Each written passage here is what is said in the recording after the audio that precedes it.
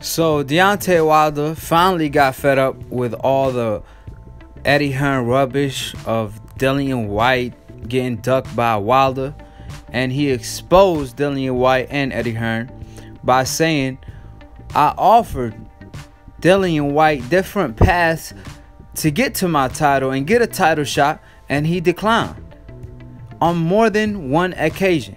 And I personally co-signed that because I reported on all the offers or the paths that Deontay Wilder offered to Dillian Whyte to get to the title shot.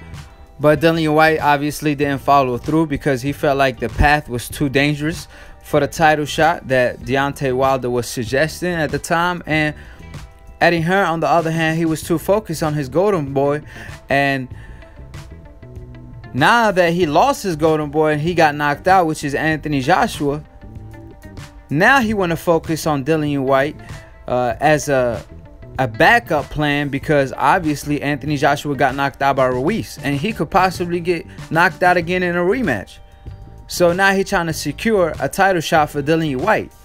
But back in the day when Wilder tried to fight and did everything in his power to fight and Anthony Joshua, Anthony Joshua did everything in his power at the time to duck Wilder and he ducked him like five times. Wilder at the time told Eddie Hearn, Give me the Anthony Joshua fight guaranteed, and I fight Dillian Whyte, And right after that, I fight Anthony Joshua. Obviously, Eddie Hearn declined. Then, Wilder told Dillian Whyte, hey, you want a title shot? All you got to do is fight Ortiz. That's right after Anthony Joshua knocked out Parker. Or not, he didn't even knock out Parker. He won a unanimous decision or a split decision. And then Dillian Whyte, instead of fighting Ortiz, he fought Parker coming off a loss. And the WBC mandated that fight again. And he still declined that fight. So Wilder was like, to each your own then. You really don't want the fight. You keep doing your own thing. He could have fought Breazeale, And if he would have won that fight, he would have been the number one mandatory. But obviously, he chose not to, and then Breazeale ended up getting the title shot, which Dillian Whyte could have been in that position if he followed through what Wilder was telling him to do. And even before that, Ortiz called him out a third time, tried to make a fight with him, and Dillian Whyte yet declined again and ended up fighting Chisora again in a rematch that no one wanted to see. And he even struggled with him and was losing the fight and ended up landing a knockout blow in the 11th round to stop Chisora. So at the end of the day, Dillian Whyte been doing his own thing. Now he gonna come around and talk about Wilder's avoiding him. Are you serious, bruh?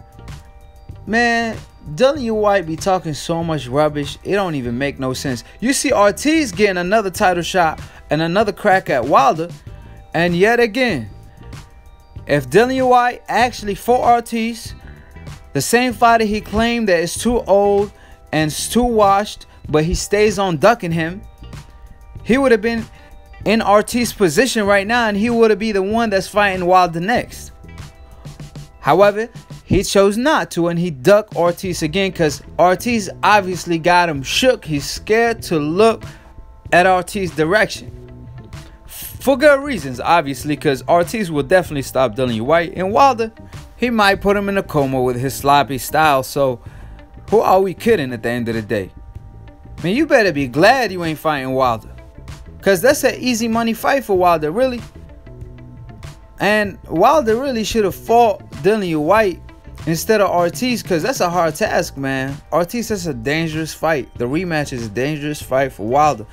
And he could have been uh, fought a Dillian Whyte and took an easy path and just knocked this bum out back to the UK. I mean, just picture this. Picture a perfect picture. Now, picture Deontay Wilder in that. Now, picture the knockout of the century. Now, picture Dillian Whyte in that. So, at the end of the day, Dillian Whyte finna get stressed when he fight Deontay Wilder. And Wilder said he cannot wait to fight Dillian Whyte for all the rubbish they've been talking for suing him this and that when he been ducking and the WBC been manda- mandating him to fight Ortiz for the longest and he declined every single time. But now he gonna talk about Deontay Wilder avoiding him. I mean, ain't nobody avoiding no Dillian Whyte. If Anthony Joshua knocked him out the way he did, and he got good power at the heavyweight division, like I said, Deontay Wilder, man, he finna put him in a coma. That's all I could picture, really. So subscribe below if you're trying to get smarter about the minute. If you're trying to get dumb about a second, don't listen to Eddie Hearn.